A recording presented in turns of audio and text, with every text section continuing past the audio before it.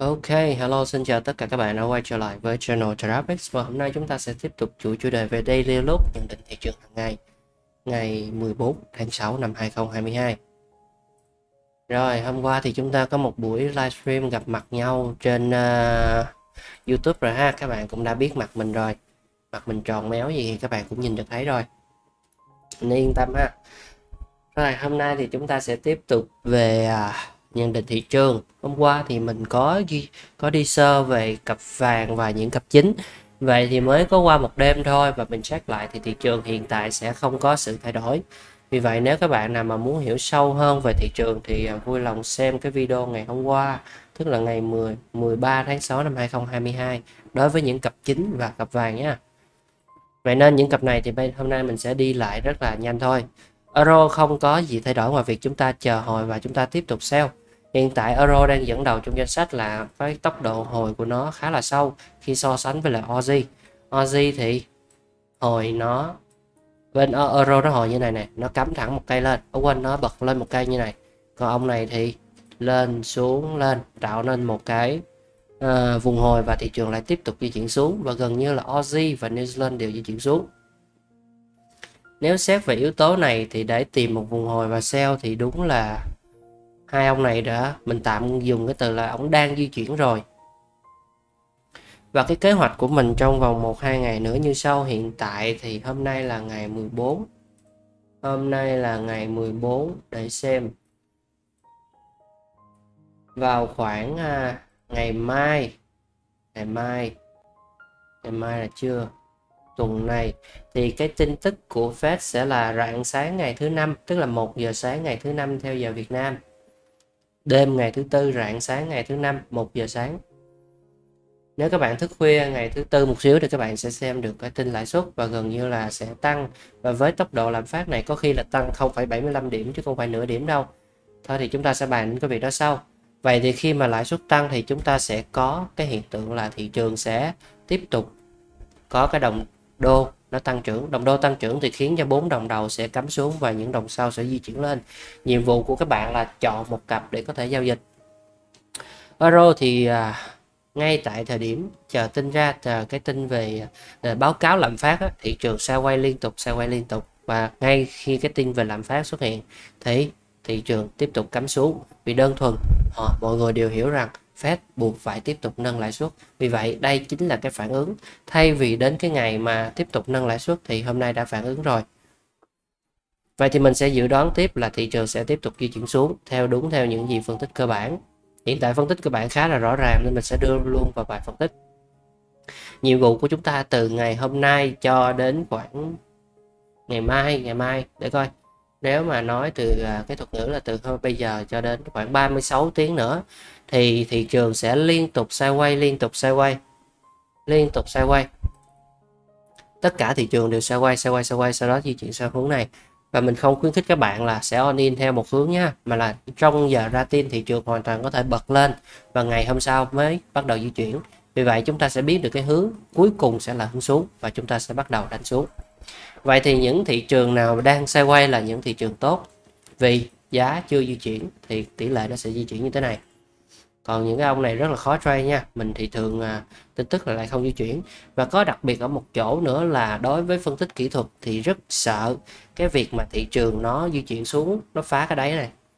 Vậy nên nếu đây là một vùng hồi của chúng ta thì những cái thị trường mà đang di chuyển xuống như thế này chưa phá đáy mình sẽ ưu tiên hơn. Đây là về mặt phân tích kỹ thuật nha. Vì thị trường có cái thiên hướng là di chuyển xuống phá cái đáy này. Vậy thì sau khi phá cái đáy này chúng ta chưa vội kết luận là thị trường còn xuống một lần nữa, chúng ta chưa vội như vậy. Nhưng chúng ta cũng không có quên cái việc là thị trường có người mua bắt đầu nhảy vào ngay khi thời điểm chạm cái đáy này. Vì vậy, đến thời điểm đó chúng ta phải đứng giữa cái ngưỡng cửa là phân biệt xem thị trường nó bắt đầu lên hay xuống. Nên mình không thích cái việc phân biệt đó.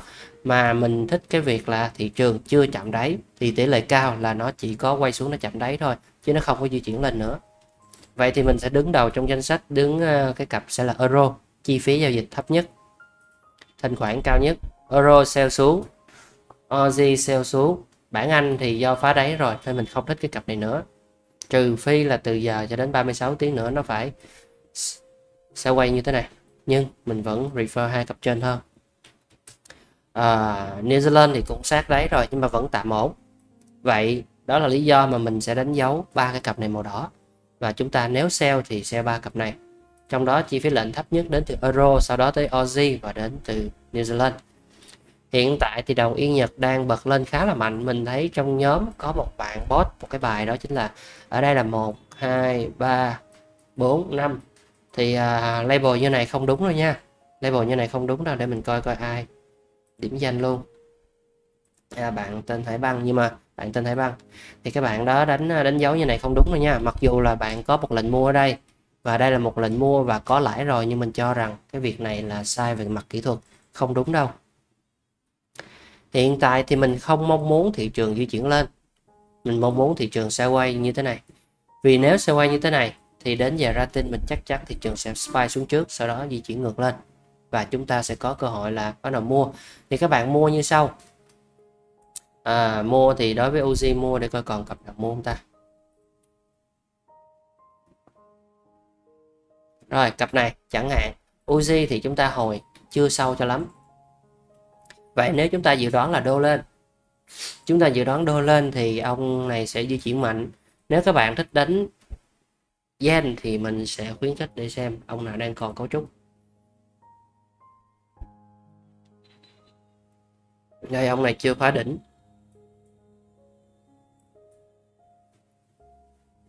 Một, hai, ba.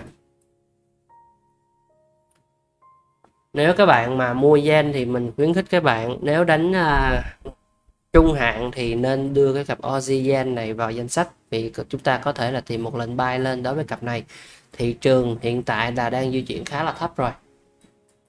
Nếu thị trường loanh quanh về ngay tại cái vùng này 91.4 này 91.4 này thì thị trường sẽ có khả năng là bật mạnh lên vì vậy nếu trong 36 tiếng nữa mà thị trường tiếp tục hồi sideways ở đây tạo nên một cái key level ở khung thời gian thấp chẳng hạn như khi mà thị trường di chuyển xuống như thế này nè.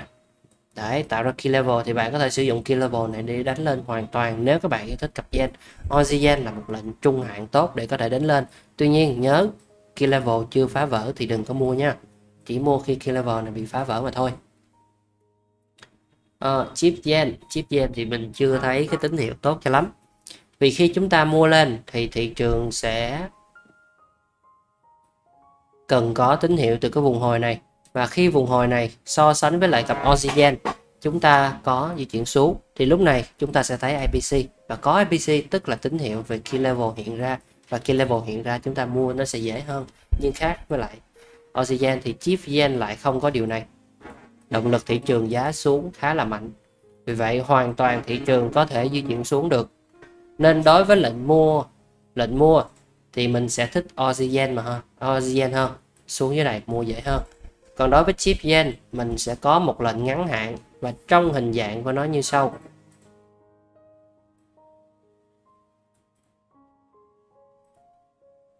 Nếu thị trường hồi lại lanh quanh tại vùng này, tại sao lại tại là vùng này? Tại vì chúng ta đang có là WSY thì nếu thị trường hồi về tới cái mốc này nó sẽ tự động tạo nên cấu trúc là 1 2 3 4 ở đây. 1 2 3 4 5 và đặc biệt là nhớ coi cái key level này. Key level ấu quên cái trend line này, nó quay về, nó chạm trend line là bắt đầu nó sẽ bật lên. Vậy thì đây là một số 4 tốt để các bạn có thể tìm lên. Và khi tìm lên thì đối với cấu trúc này, nó chỉ có tối thiểu là di chuyển được phá lại cái vùng đỉnh cũ. Trước khi chúng ta dự đoán thị trường giá xuống, vì cái tổng quan thị trường của chúng ta vẫn đang là WSY đây chính là lý thuyết đây là dành cho các bạn mới học. Mới học phải vẽ ra được ngay bức tranh này không được vẽ khác. Tới đây phải vẽ ra được ít nhất như thế này. Khi mà các bạn kết hợp vào cái việc là phân tích cơ bản nữa phân tích cơ bản thì các bạn sẽ biết là à, để khoan để nói cái này rõ hơn xíu nha. WSY tức là thị trường còn động lực giá xuống. Vậy thì chúng ta sẽ tìm sell xuống. Câu hỏi đặt ra là sell luôn chưa? Hay là thị trường làm thêm cái đỉnh nữa rồi mới bắt đầu sell để trả lời cho câu hỏi màu xanh dương này thì chúng ta nhìn ở khung thời gian thấp hơn. Chúng ta thấy là thị trường đang làm là 123 à, 1 2 3 tương ứng với lại WSY vậy thì sâu chuỗi về hai cái dữ kiện này lại. Màu đỏ sẽ là ngắn màu đỏ sẽ à không màu đỏ sẽ là cái cấp độ thị trường nhỏ hơn nên nó sẽ phát triển trước bằng cách là thị trường hồi lại sau đó thị trường di chuyển. Thị trường di chuyển thì cũng chính là lúc mà màu xanh bắt đầu nhảy vào. Thì đây chính là lý thuyết. Nhớ nha phải ít nhất trả lời được như thế này đã.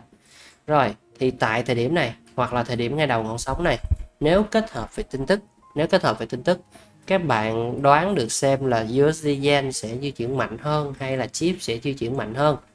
Tại vì hai ông này đều di chuyển lên mà. Đấy, hai ông này chúng ta mua lên. Một hai ba. Tại thời điểm đó nếu các bạn đoán được cái ông nào mạnh hơn thì ngay tại lệnh mua này các bạn có thể đặt cái nguyên tắc là vào lệnh entry theo ngắn hạn entry theo ngắn hạn short term này. Nhưng mà khi các bạn take profit các bạn cứ thả nổi cái take profit này. Nếu cho đồng yen tiếp tục di chuyển lên thẳng lên trên này. Đấy, nó chỉ khác nhau cái đoạn cuối thôi khác nhau cái kế hoạch take profit thôi. Vậy thì à, nếu phải buy trung hạn mình khuyến khích các bạn là buy oxygen. còn bạn nào mà trình cao xíu thì mình sẽ hướng dẫn các bạn đánh về chip gen. cách gen tương tự với lại oxygen nha các bạn chọn một trong hai cặp đều được, oxygen hoặc cách gen. rồi, oxygen hoặc cách gen, một trong hai cặp gen này các bạn đánh lên về trung hạn được ông này thì gần phá đáy nè, gần tạo ra key level này đưa ổng vào danh sách đi để cho nếu hôm nay mà ông cứ quay tại vùng đáy này đấy sau đó ông hồi lên xíu. Thì ngay tại thời điểm này tin tức ra thì nó sẽ đẩy thị trường di chuyển lên khá là mạnh. Chú ý hai cặp này nha. À, trong ngày hôm nay cặp này thì không đánh được. Cặp này tương tự như lại USD nhưng chúng ta không đánh được. Lý do là nó phá cái đỉnh trên này rồi. Nó phá cái đỉnh của weekly rồi. À nó chưa nó còn. Chưa chưa nó chưa phá đỉnh nó còn ngay trên này nữa còn một đoạn nữa. Rồi ở đây vẫn bay được nha. Ở đây vẫn bay lên được.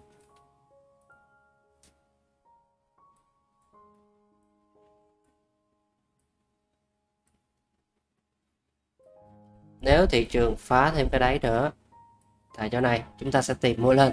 Vậy chúng ta sẽ có ba ứng cử viên đến thời điểm hiện tại. OZyen, Yen, và à, uh, CAD các bạn tìm lệnh mua lên đối với cặp nào cũng được bao gen bao gen thì mình chưa thấy cái điều gì chúng ta có thể mua được cả. Nó spy xuống mạnh quá. Bao gen thì thôi. New Zealand yen cũng đang xuống khá là mạnh. Chưa mua được. Rồi Aussie yen CAD yen và à, uh, Euro yen các bạn có thể mua trung hạn nếu ngày hôm nay có tin tức mà mình nghĩ chưa có đâu cách gen cách gen mới sắp có nè. Cách gen sắp phá đáy thì nó có cái cái thông tin để chúng ta vào. Còn eurogen eurogen thì còn nằm xa lắm. Eurogen và oxygen còn nằm xa lắm, nằm trên này lần chúng ta cần có thị trường phá đáy. Eurogen chưa phá này. Oxygen sắp phá này. Gần thôi. Còn cách gen nó nằm gần vùng đáy lắm rồi nè. Còn xíu nữa là nó phá đáy. Phá đáy xong thì đây sẽ là key level, canh mua lên. Vậy thì đầu danh sách mình sẽ thích nhất là cát gen sau đó đến Aussie sau đó đến Euro ờ, Yen uh, Aussie Card các bạn có thể tiếp tục tìm một lệnh sale. Hiện tại thì mình cũng đang có lệnh sale rồi.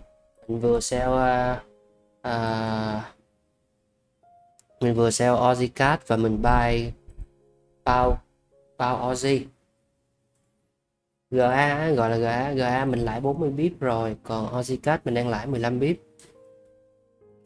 rồi, các bạn có thể là canh key level chỗ này nè. Các bạn tiếp tục sell xuống một lần nữa và phá đáy là chốt lời. Lý do là chúng ta đang có WSY nằm đây. 1 2 3 4 5 thị trường thể hiện cái động lực giá xuống mạnh. Thì việc các bạn cần làm là chờ hồi, phá key level và kiếm lệnh sell cái lệnh sell của mình thì cái stop loss nó khá là xa nên mình sẽ làm một chút gì đó mình dò đỉnh. Nói chung là cái này là cái kỹ thuật nâng cao. Mình không khuyến khích các bạn làm cái điều này. Mình chỉ đang chỉ những cái điều cơ bản nhất thôi. 1 2 3 4 phá key level canh hồi lại sell hoặc là thậm chí sell luôn cũng được. Rồi cái lệnh này lệnh sell xuống nhớ canh sell nha. Mình đang sell lệnh này rồi. Uhm, tiếp tục là lệnh nào ta? Đây có lệnh rồi đúng không? ROG có lệnh nè bản Anh có lệnh này uh, Aussie có lệnh. Ờ, ok. Cái này đưa vào tầm ngắm nè sắp sell được này đây cũng vậy này đây cũng vậy này. Đây cũng vậy nè Aussie chip thì lại không. Aussie chip thì đang có tốc độ di chuyển xuống khá là mạnh. Kỳ trước thì mình đã nói là ở đây có thể có cái mô hình để chúng ta xeo xuống nè, và hoàn toàn có thể chạm được cái đáy này. Tuy nhiên chúng ta lại không có góc nhìn để chúng ta có thể xeo được. Không có góc nhìn để chúng ta có thể xeo được. Vì cái chúng ta cần. Thứ nhất, chúng ta có định hướng về thị trường giá xuống vậy khi có hướng của thị trường giá xuống rồi chúng ta cần có một nơi để gọi tên đâu là đỉnh của thị trường. Đâu là đỉnh của thị trường? Vì vậy chúng ta thấy cái cái cái, cái việc giá lên này khi giá nó di chuyển lên di chuyển lên di chuyển lên. Rồi để vẽ rõ hơn xíu. Đây. Chẳng hạn như đây là một cách các bạn có thể sử dụng. Đây là cách trực quan nhất. Các bạn so sánh cái lần đầu lần thứ nhì giá tăng và lần thứ ba giá tăng. Đây là cách trực quan nhất các bạn có thể sử dụng nha và cách thứ hai là các bạn có thể sử dụng bắt đi. Và trong trường hợp này thì chúng ta không sử dụng được cách nào cả.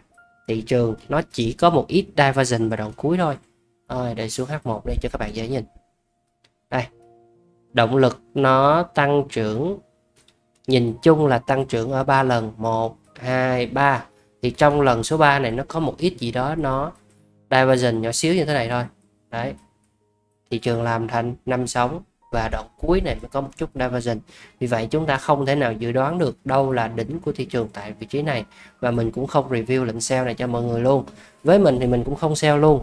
Mình thấy có một lệnh sell ở khoảng mà 15 đó. Nhưng mà thôi, không sell tỷ lệ thắng nó không ổn định. Cứ để cho thị trường di chuyển xuống. Và chúng ta sẽ hoàn thành một cái vùng hồi ngay tại vị trí này. Và sau khi vùng hồi này hoàn thành thì chúng ta sẽ tiếp tục tìm một lệnh mua lên hy vọng là thị trường bắt đầu giảm tốc độ. Giảm tốc độ giống như hiện tượng này nè. Đấy. Nó đang cấp mạnh xuống. Bây giờ nó xuống sau đó nó hồi sau đó nó giảm tốc độ. Tự động các bạn thấy divergent, tự động thấy divergent thì tự động biết được đâu là đáy của thị trường. Và có đáy tức là có cái nơi để đặt stop loss. Có nơi để đặt stop loss thì chúng ta bắt đầu mua đặt stop loss và đẩy thị trường lên lên. Còn thị trường đang di chuyển mạnh như thế này không biết được đâu mà lần đâu. Thị trường xuống thị trường xuống nữa vậy thì thông qua động lực chúng ta không đọc được điều gì không đọc được mà các bạn nhào nhào vào các bạn mua. Với lý do là thị trường nó xuống nhiều quá rồi kiểu gì nó cũng lên. Thì xin chúc mừng bạn sẽ quay vào ôm bất lực mất tiền chứ. À, vì à, cái này chúng ta gọi là bắt dao rơi không nên trade như này nhé. Hôm qua mình cũng có nói sơ về việc vàng rồi vàng các bạn đừng có bắt lên bắt xuống như này. Đúng là những cái trade lên trade xuống này nó đi mấy chục giá nhìn rất là tốt nhưng mình luôn luôn bỏ ra khỏi đầu, mình không trade những cái này. Mình trade những cái nào mà nó có tính lặp đi lặp đi, lặp lại mà dự đoán được. Sau đó hôm nay trade mai trade mốt trade và cứ như vậy thì chúng ta mới mới có lãi được. Lãi từ nhiều trade chứ không phải là lãi từ một trade sau đó nghỉ hưu. Rồi, hiện tại thì cái cạch chip này đang hồi và mình dự đoán là nó còn hồi khá sâu nữa, tới lanh quanh đây. Hình dạng tiếp theo của nó như thế này thì chúng ta có thể mua lên được. Vì vậy còn khá nhiều điều để phát triển tại vùng này. Cặp này chưa đâu nha, chip gen rồi. Eurogen thì mình đang có một lệnh mua ở đây. Mình đánh theo trung bình giá. Mua mua mua. Mua xong hiện tại thì cái này đã di chuyển mạnh rồi. Ở đây thì dưới khung thời gian thấp các bạn sẽ dò được một lệnh ở M5 nữa. Thì mình có một lệnh mua ở đây. Stop loss rất là ngắn ở M5 GA cũng tương tự các bạn sẽ dò được một cái lệnh buy ở đây. Mình đang có một lệnh buy ngay tại, tại vị trí này. Còn stop loss của mình sẽ nằm ở đây. Trong đó thì có một lệnh buy nhỏ xíu như thế này nữa nhưng mà mình không vào được vì à, thời điểm mà mình thấy cái lệnh đó thì mình cũng đang làm video rồi. Nên thôi bỏ. Eurogen rồi ha. Rồi hiện tại thì uh, Eurobound đang di chuyển khá là tốt. Nhận định về thị trường weekly thì chúng ta vẫn đang có một cái nhận định về việc là thị trường nó di chuyển khoảng à, ở đây này đấy. Khoảng 1.300 bip mình đang có một cái nhận định như thế này 1.300 bip vì vậy, ngay tại vị trí này là chúng ta đã bắt đầu tìm những cái lệnh mua đầu tiên rồi. Ở đây, chúng ta tìm những lệnh mua đầu tiên rồi. Tất nhiên là phải có phương pháp nha, chứ không phải là dò đáy rồi bắt giao rơi nha. Rồi bắt được một lần, hai lần, không được. Thì khi thị trường phá vỡ key level như thế này, mình cho rằng thị trường nó phải phá dưới đáy này nữa thì mới an tâm để vào nhưng thị trường lại hồi đây. Di chuyển lên là mình hơi bất ngờ rồi, sau đó thị trường mới bay mạnh quá. Bay mạnh quá rồi thị trường lại hồi lại với một cái vùng hồi trong như thế này. Mình muốn là thị trường hồi sâu hơn để có thể tiếp tục bắt.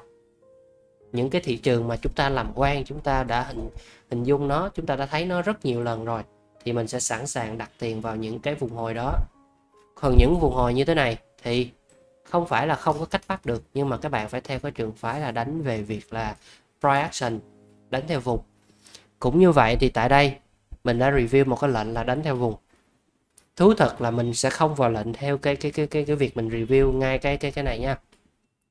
Vì nó đến từ thuần price action. Thuần price action. Thì tỷ lệ thắng của nó sẽ nằm ở một cái ngưỡng. Thì mình có review, bạn nào bắt được thì bắt. Còn mình thì đây không phải là phong cách nó có rất nhiều cái phương pháp entry. Và bên cạnh đó tại một thời điểm phương pháp entry nào là phù hợp nhất thì mới có thể lấy ra và sử dụng. Hôm qua thì à, có một cái cặp nào ta để nhớ coi. Mình có dặn các bạn là nếu nằm ngay vùng giữa để nhớ coi có phải à, vàng không? Nếu nó nằm ngay vùng giữa mà nó sideways thì đây không phải là một cái trade về breakout. Và thị trường rất dễ khiến chúng ta stop loss nhưng cái trade mà nó tiếp cận ngay tại vùng đỉnh này này đấy nó tiếp cận đây. Thì đây chính là một lệnh để chúng ta đánh breakout. Vậy thì breakout trader sẽ tập trung tại đây và tiếp tục đánh lên. Mình thì ngày xưa theo trường phái breakout hiện tại thì mình sẽ chuyển sang mình uh, dò đáy dò đỉnh rồi. Các bạn cố gắng uh, bắt cái này thì đặt break even sớm nhé break even sớm nhé mình vẫn chưa thấy an tâm về cặp này. Lý do là chúng ta còn một lần nếu nói về mô hình thì chúng ta vừa hoàn thành xong năm sóng đây, ba, bốn, năm. Rồi, chúng ta vừa hoàn thành xong một vòng năm sóng mình thì à, vì thấy cái mô hình này nên mình không yên tâm. Mình là nghiện cái tỷ lệ thắng á, tỷ lệ thắng cao mình mới vào thôi. Tỷ lệ thắng thấp là mình không vào. Đây. Trong cái này mình vẫn thấy thị trường 1 2 3 vậy thì đây vẫn là vùng số 4 vì nếu đây không phải là vùng số 4 thì chúng ta phải gọi tên được đây là vùng số 4 đây chính là số 4 này, để thị trường tiếp tục di chuyển lên. Và nếu làm như vậy, để gọi tên đây là vùng số 4 thì mình thực sự là không thấy thuyết phục tí nào cả, vì thị trường nó cần có là một cái vùng hồi. Vùng hồi thì khi chúng ta nhắc đến vùng hồi, chúng ta phải nhắc đến cái bản chất của nó là slow, nó di chuyển chậm chạp, và nó chỉ điều chỉnh thị trường thôi, chứ nó không phải là tạo sóng đẩy à, quên nó tạo sóng đẩy nên phải xuống như thế này. Vì vậy cái bản chất của nó khoảng 90 phần trăm là sẽ theo hai cái này. Còn 10 phần trăm còn lại là nó nằm cho những cái thị trường mà có tin tức nó giật mạnh sau đó nó giật nhanh lên như thế này. Và đặc biệt là nằm trong những cái phiên của H1 thị trường giật sau đó thị trường di chuyển lên thì mới có những cái spy đóng vai trò là vùng hồi. Còn lại những vùng hồi trên H4 mà các bạn thấy đa phần nó đều có hình dạng của như này. Đấy chậm chạp à, còn một yếu tố nữa time factor mình thiếu. Time factor tức là trong thời gian lâu nhất có thể thị trường có thể điều chỉnh. Thì ở đây mình chưa thấy đủ gì hết. Vậy thì cái câu chuyện này khiến cho mình nhớ lại một cái mô hình mà chúng ta đã từng gặp rất nhiều trong quá khứ. Rồi đầu tiên trong danh sách không thể nào không kể đến ông này. Chúng ta ra trong cái vùng này. Hiện tại thì 1 2 3 4 và chúng ta sẽ nhận định giá lên và chúng ta sẽ có những cái lệnh buy bên trong cái này. Và khi buy thì thị trường có di chuyển không? Có. Đây nè, nó lên nè, lên quá trời này vậy thì khi buy, thị trường lên. Nhưng nó vẫn chưa thuyết phục mình về việc là thị trường sẽ tăng trưởng mạnh. Vì cái lý do đầu tiên á, đó chính là việc cái vùng hồi này. Nó giống cái lý do hồi nãy mà mình nói bên Europa nó khá là mạnh không thuyết phục mình về việc đây là vùng hồi. Và cái thứ hai nữa, đó chính là cái impulse tiếp theo, lại đầy rẫy những cái divergence xuất hiện bên trong cái quá trình phát triển. Các bạn thấy diversion nè quên các bạn thấy impulse nè không? Đây chúng ta có một cái chuyển động giá lên này. Đấy, còn đây là một một chuyển động giá lên này thấy rõ ràng hai cách di chuyển lên không? Một cái impulse thể hiện cái động lực rất mạnh lên lên mạnh hơn, lên mạnh hơn và lên mạnh hơn. Đấy, động lực nè. Còn cái ông này mặc dù giá có tạo những đỉnh mới thật, nhưng động lực của nó liên tục là divergent divergent divergent. Và để đặt tên cho mô hình này thì mình dùng cái từ là dying divergent. Dying divergent. Một số tài liệu thì gọi là squeezing divergent. Squeezing divergent. Nhưng không quan trọng đâu, các bạn chỉ cần hiểu cái bản chất của nó là liên tục tạo ABC những cái ABC này được tạo ra từ những vùng hồi không sâu không sâu để định nghĩa không sâu thì à, các bạn có thể sử dụng phím phím 50 nằm đây thì nó chỉ hồi lại 38.2 nó lên tiếp. Rồi từ đây lên đây. Thay vì nó hồi về 50 thì nó lại hồi tầm 20 23 chấm mấy gì đấy nó lên tiếp. Ở đây cũng như vậy hồi có một xíu lên hồi có một xíu lên. Thì các bạn sẽ liên tục thấy được hiện tượng là dying divergence khác với lại bên này. Vậy thì ngay tại thời điểm này mình sẽ đặt câu hỏi ngay kỳ vậy ta sao cái impo này nhìn tự dưng mà nó nó quá trời cái divergence xuất hiện. Vậy cẩn thận nhìn đây có vẻ sharp nhìn đây có vẻ slow thì thị trường sẽ tạo nên một cái contracting flat hoặc là running flat đây là xuất hiện chưa? À, xuất hiện mấy lần rồi hình như là mình nhớ bên bạc thái cũng có. VA bát USD pass thì phải. Ngoại hối. Pass. Đặc thái ghi sao quên ta? À THP USD THP Đấy, để coi uh, bên này đúng không ta? À không đây đây đây, đây USD Singapore Dollar quên. Ông này tiếp tục quay lại ông này. Rồi ông này, một, hai, ba, bốn. Thị trường di chuyển lên chậm hơn so với lại ông này. Chúng ta nghi ngờ về việc này. Thị trường cần phải làm đúng cái mô hình này. Hoàn thành xong số 4 thị trường bắt đầu di chuyển. Rồi nhìn nó khung thời gian 4 giờ thấp hơn, thị trường lại tiếp tục lặp đi lặp lại cái mô hình này lần nữa. 1 2 3 sau đó thị trường di chuyển lên như thế này thì mình thấy cái dấu hiệu của mô hình nó xuất hiện thì chúng ta lại tiếp tục mua lên rồi USD lại có mô hình này. Đấy, thị trường hồi lại. Thị trường có tăng trưởng thẳng không? Thị trường tăng trưởng với một cái động lực nó xem xem với nhau, nó duy trì trong cả quá trình tăng trưởng. Trong khi đó thì động lực giá xuống này rất mạnh và nó chỉ tạo ra một mảnh một thôi. Ông này có vấn đề, rất có thể đây là mảnh đầu tiên và đây là mảnh thứ ba. Đây lại là running flat của thị trường, sau đó thị trường mới bắt đầu di chuyển. Đấy rồi, tiếp tục nè. Ông này abc phá key level. Phá key level hồi lại. Ở đây chúng ta mua không? Có, chúng ta mua. Mua lên. Của mình sao kỹ ta? Cái này, nếu như vậy thì đây là impulse đây là vùng hồi. Nhìn xem nó giống vùng hồi tí nào không? Nó giống vùng hồi tí nào không? Nó vô cùng sharp, cẩn thận. Đây chỉ là một mảnh và đây sẽ có một mảnh. Hoàn thành đúng cái mô hình này trước khi di chuyển lên cái việc mô hình này mình tìm hiểu về phân tích cơ bản thì nó chính là tổng hợp cái cảm xúc của thị trường, cảm xúc của trader. Nó cứ tổng hợp và nó tạo thành một mô hình. Và chính là mô hình mà các bạn đang trải qua ở cặp mang tên là FLC khi một lần bán tháo, thị trường cắm xuống, thị trường dù cho có hồi lại, nếu không xảy ra cái hiện tượng là ông à, ông quyết bị bắt. Chúng ta chưa nói về việc ông quyết bị bắt nha. Ví dụ như ngày hôm nay, anh quyết vẫn ngồi trên công ty, vẫn vui cười nói. Thì khi đó, thị trường cũng sẽ có một lần giá sập xuống nữa. Vì thị trường sẽ phải rũ bỏ những cái lệnh mua ở đây, những người mua ở đây. Họ chưa tập trung đủ cái ý chí tập hợp lại để đẩy thị trường di chuyển mạnh nhưng nỗi sợ hãi bao trùm thị trường đến từ lần trước. Nên sẽ còn ít nhất là một lần sập nữa và điều này một lần nữa sẽ xảy ra với VN Index. VN Index mới nằm ngay chỗ đầu tiên này thôi. Dù cho thị trường muốn đảo chiều, nó cần phải có một lần sập nữa. Mô hình này nó cứ lặp đi lặp lại và chúng ta quay lại với Eurobound chúng ta sẽ thấy mô hình này liệu rằng nó có sập hay không. Vậy thì để trade cái mô hình này các bạn nhớ kỹ giùm mình nhớ kỹ là chúng ta chờ mô hình hoàn thành chúng ta trade lên cấm chỉ định cái việc chúng ta chờ ở đây chúng ta sell xuống. Cái này mỗi lần cứ thuyết minh về việc mô hình này xong là phải nói câu cuối này. Vì rất nhiều các bạn sẽ nảy ra ý tưởng à thế thì mình thấy cái này nó xuống mạnh quá sao mình không sell xuống đi? Thì uh, cả một quá trình mình nghiên cứu cái việc này rồi các bạn cứ chờ nó hồi, các bạn mua lên là tốt nhất, đừng có sell xuống nha. Nó nhiều vấn đề lắm. Ozcat mình nhìn thấy một lần thì phải. Ozcat Ozcat thì chưa. Ozcat chưa.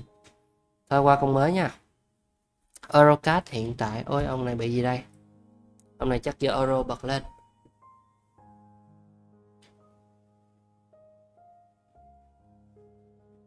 Ông này không có cơ hội vào.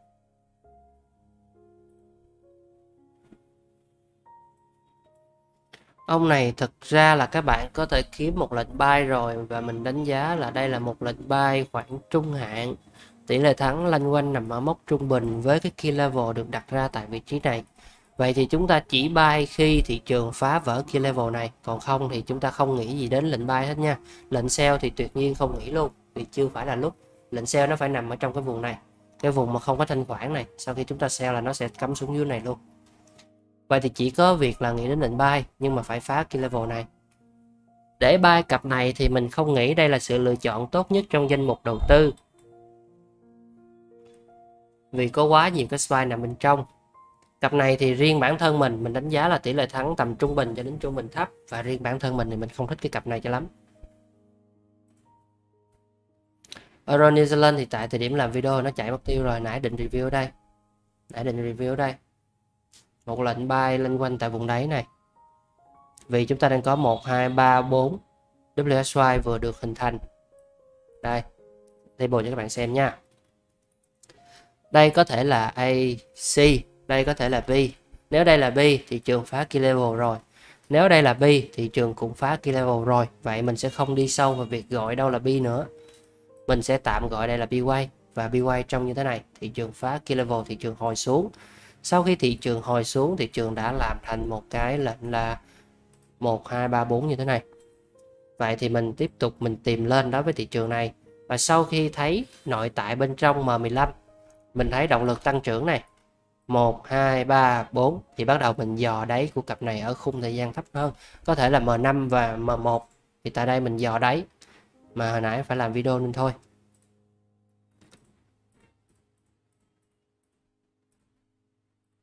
Đấy, có khá nhiều cơ hội ngắn hạn.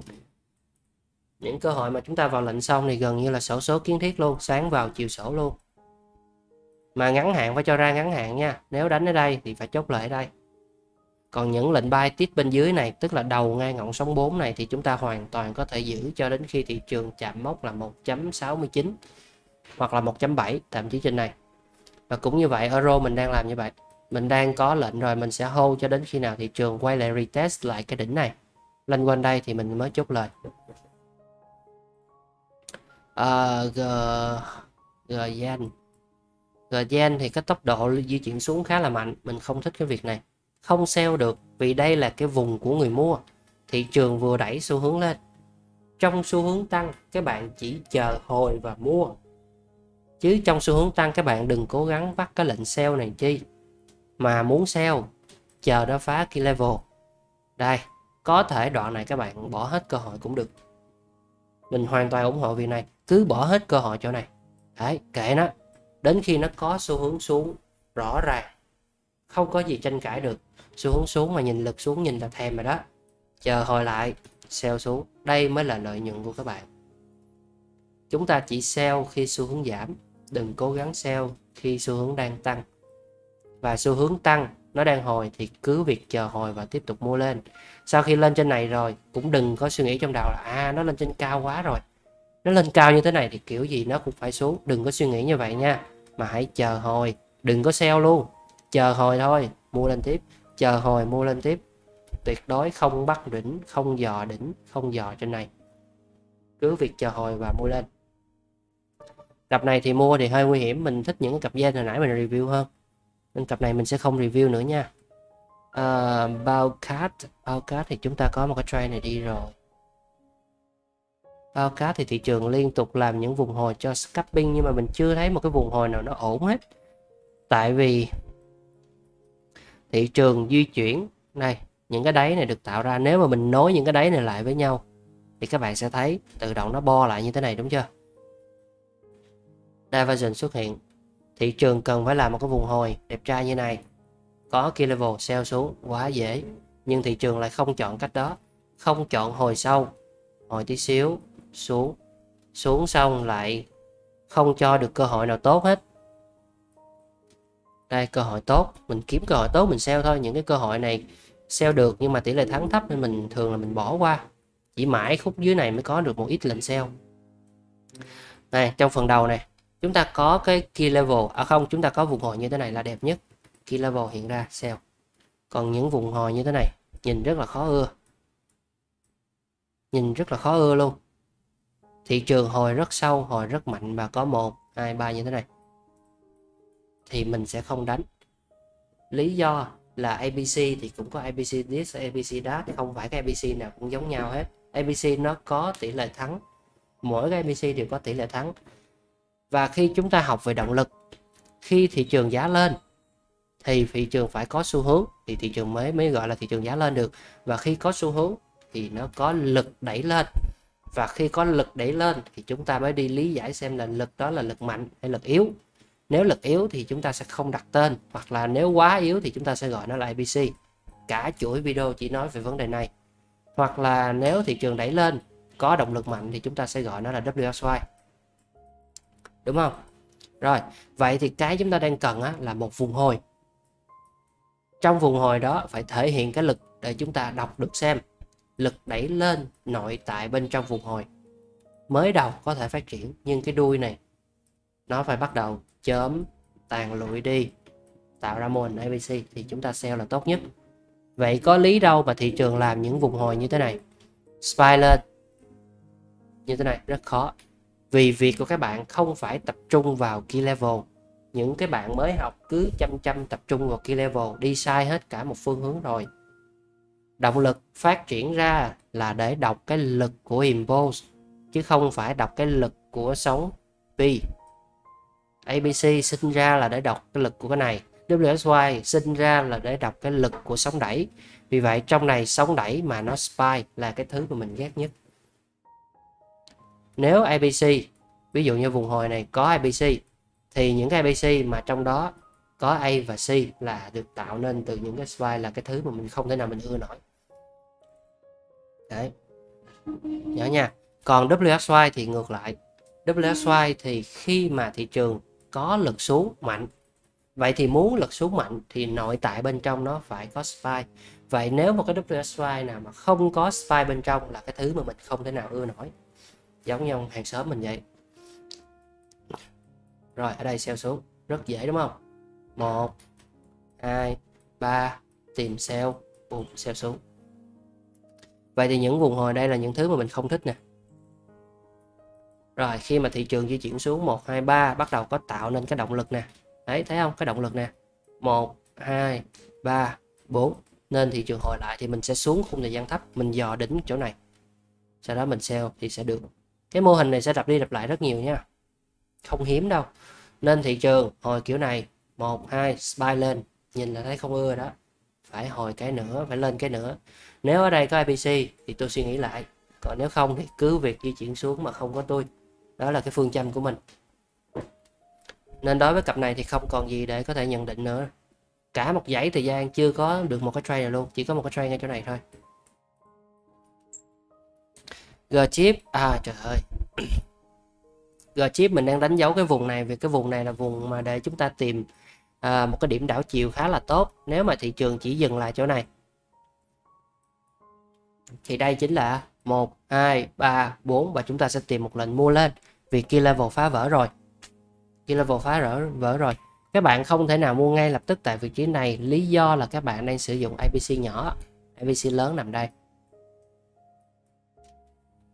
và nên nhớ ABC lớn mới là ABC có khả năng nhận định thị trường. Còn ABC nhỏ thì không có giá trị nhận định thị trường nha. Và khi có ABC lớn nằm bên trên ABC nhỏ nằm bên dưới, thì cái ông nhỏ này không làm tăng tỷ lệ thắng cho ông lớn và ngược lại, ông lớn cũng không làm tăng tỷ lệ thắng cho ông nhỏ. Đừng có suy ra cái điều đó. Hai ông này không có sự tương quan với nhau, nhớ kỹ, rất nhiều bạn sẽ suy ra điều này. Vì vậy, khi đánh, phải đánh ABC lớn. ABC nhỏ chỉ dùng cho một số trường hợp đặc biệt thôi. Chẳng hạn như cái mẹo này nha, các bạn ghi lại trường hợp này, vì các bạn sẽ thấy rất nhiều trong tương lai. Nếu thị trường, đây là ABC lớn, tạm gọi đây là ABC lớn nha, mình lười kéo qua bên trái, mình phân tích quá chúng ta sẽ không sử dụng ABC nhỏ mà khi thị trường quay lên phá key level của ABC lớn thị trường hồi lại. Đấy, lúc này thì lớn nhỏ gì ở đây tha hồi dò. Ở đây lúc này lớn nhỏ gì đó tha hồi dò. ABC nhỏ bài ABC lớn bài lý do. Ông BC màu xanh dương này đã chỉ ra cho chúng ta biết hướng lên sẽ là hướng tiếp theo của thị trường nên khi màu đỏ này, nó vẫn là ABC lớn. Lớn đây không phải là lớn khi so sánh với lại ông này đâu nha. Các bạn nào mới coi chữ bị nhầm này nha. Lớn đây là lớn nhất trong một xu hướng xuống. Chúng ta có một xu hướng xuống nằm ở đây. Và chúng ta có một xu hướng xuống thứ nhì nằm bên này. Đây là hai xu hướng tách biệt. Vì vậy, đối với ông trước thì đây là key level lớn nhất. Đối với ông sau thì màu đỏ chính là key level lớn nhất. Nên ông trước buộc phải phá key level đã ông sau lúc này dùng key level lớn cũng được, dùng ông key level nhỏ cũng được, ông nào cũng được và chúng ta sẽ tìm mua lên. Và cấm chỉ định là tìm mua ở ông key level nhỏ tại vùng này. Nhớ nha, cấm chỉ định. Rồi, bây giờ mới cho thuốc chỉ định nè. Bây giờ thuốc chỉ định thì có hai loại thuốc. Một là nếu các bạn vẫn đánh APC nhỏ thì tuyệt đối không được dò đáy, mà phải chờ vùng hồi và sử dụng cái vùng hồi đó như là một cái vùng hồi độc lập và một phân tích độc lập. Tức là đây nếu có IPC thì phá key level thì ta sẽ mua và mua chỉ stop lot ở đây thôi. Stop lot ngay tại vùng này không có giá trị sử dụng nha. Không stop lot tại đây, mà chỉ stop lot ngay sát ở đáy này. Đây là cách thứ nhất. Vì sao? Vì các bạn nên nhớ rằng thị trường, cái này nói chuyên sâu một xíu nha, sẵn này nói lại luôn. Thị trường khi làm ABC chúng ta sẽ có một cái gọi là phá key level. Thị trường sẽ có 90% đây là key level lớn nha. 90% sẽ đảo chiều. Còn 10% nữa, thị trường di chuyển như một vùng hồi và lại tiếp tục di chuyển xuống. Vậy thì hai cái này nó mới hợp lại và tạo cho chúng ta một công thức. Vậy nếu tôi thấy một cái chuyển động giá lên spy khá là mạnh, thì theo cái công thức mà chúng ta vừa nghĩ ở những cái bài trước một cái spike khá mạnh không thể nào làm nên mùa xuân được, không thể nào làm nên một cái vùng hồi được, mà nó thường là phải hồi lại như thế này. Nó đủ ba mảnh thì nó mới tạo nên một phục hồi. Vậy thì, những cái spike mạnh, chúng ta sẽ cho rằng tỷ lệ rất cao là đây mới là hình dạng của một vùng hồi chúng ta đang cần tìm. Vì vậy, phá key level hồi lại và chúng ta mua, đó chính là lý do. Vậy thì cái ABC nhỏ này các bạn muốn đánh buộc các bạn phải thêm một cái yếu tố đó chính là cái mảnh phá này phải là cái spy, hoặc là ba mảnh, hoặc là cái gì đó, nó rất là sharp. Sharp là từ tiếng Anh, dịch ra tiếng Việt, tức là sắc bén, mạnh mẽ. Ấy. sharp này thường dùng cho tiếng, cái nghĩa tiếng, nghĩa nghĩa đen đó chính là dùng để ám chỉ cái độ sắc bén của con dao ấy. Đó là nghĩa tiếng, nghĩa đen nha. Nghĩa bóng thì đang nói đến cái mức độ mạnh mẽ của cái imbo này. Vậy thì muốn sử dụng được IPC nhỏ, buộc thứ nhất, phải phân tích cái này như là một cái độc lập. Vì nó sẽ tăng tỷ lệ thắng cho việc sử dụng IPC cái thứ hai, cũng tăng tỷ lệ thắng cho cái việc sử dụng IPC nhỏ này, chính là cái sharp này. Hai yếu tố đó thì các bạn có thể thoải mái sử dụng IPC nhỏ, dù cho chưa phá key level lớn. Đây là trường hợp đầu tiên. Trường hợp thứ nhì, các bạn sẽ nhìn như sau. Khi thị trường phá như thế này, tức là các bạn đang so cho rằng à đây là mảnh đầu tiên của thị trường. Rất có thể thị trường sẽ hồi lại và thị trường sẽ làm tiếp cái mảnh như thế này là ít nhất phải có 3 mảnh như thế này. Vậy thì đây chính là cái mà các bạn tìm kiếm. Sau khi mua xong, thị trường chỉ có khả năng lên trên này và các bạn cũng chỉ có khả năng dự đoán thị trường lên trên này thôi. Không có khả năng dự đoán thị trường phá vỡ key level lớn. Vậy chúng ta bị hở ra một cái đoạn nằm giữa đây. Đây là cái đoạn mà các bạn hoàn toàn phải mong chờ và không thể nào dự đoán được không thể nào dự đoán được. Vậy thì một cái mẹo nhỏ đặt ra là nếu các bạn thấy ABC nhỏ, nó có một cái đỉnh trong nó như thế này.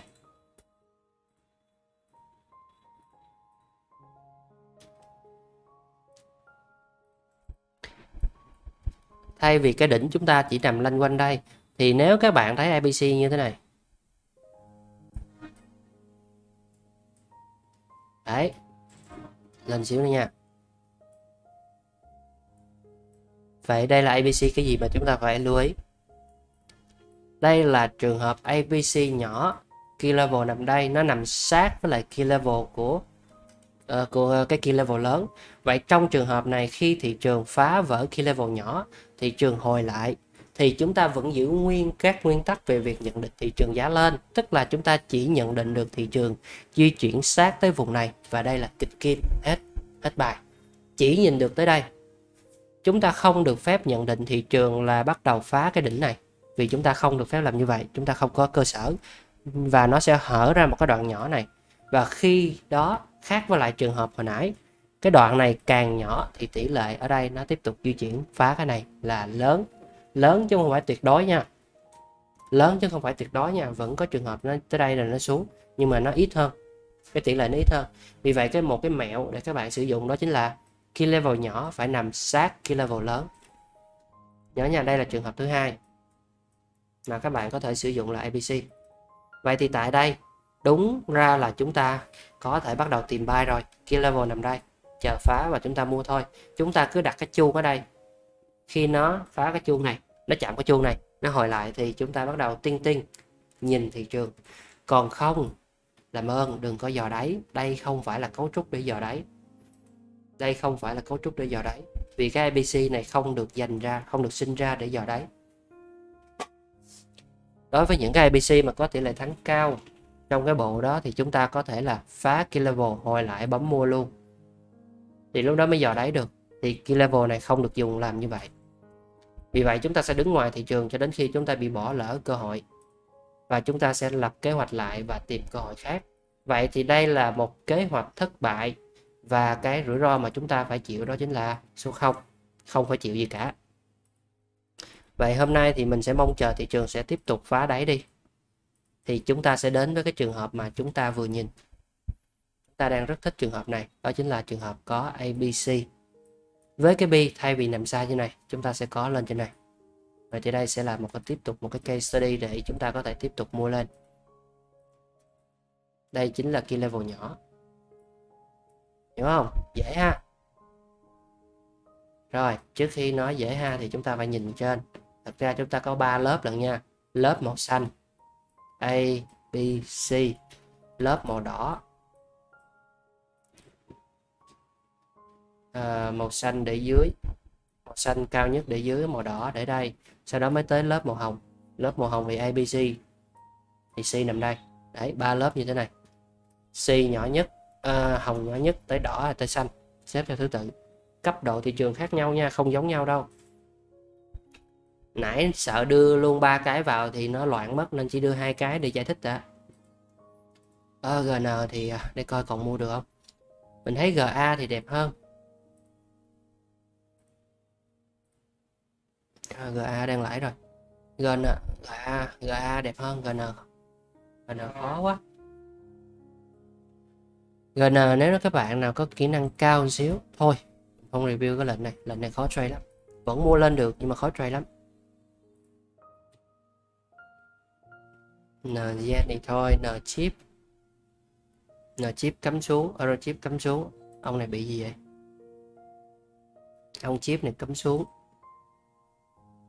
Thảo nào? Ok, hiện tại à chúng ta còn một lệnh nữa. Ở đây là có một lệnh scalping đây là một lệnh scalping tỷ lệ thắng cao cố gắng tìm. Tiếp tục nha đây có một lệnh scalping tỷ lệ thắng cao. Và scalping thì phá đáy là nhớ chốt lãi ok tạm thời uh, chúng ta sẽ review thị trường đến đây thôi. Rồi cảm ơn tất cả các bạn đã xem video ngày hôm nay. À, xin chào và hẹn gặp lại các bạn ở chuyên mục kỳ sau. Và nếu các bạn thấy thích video này thì hãy đừng ngại like và subscribe cho mình nhé cảm ơn tất cả các bạn. À và ngoài ra mình còn cái kênh discord nữa. Bạn nào có cần trao đổi cái gì hoặc đặt câu hỏi thì các bạn có thể vào trong kênh discord để chúng ta cùng giao lưu nhé ok, rồi, xin chào các bạn.